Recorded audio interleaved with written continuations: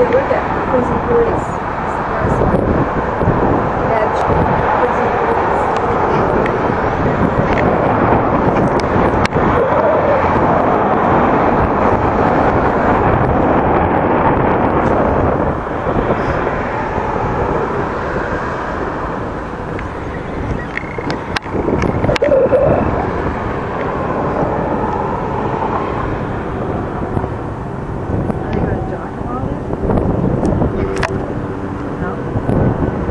They just passed by.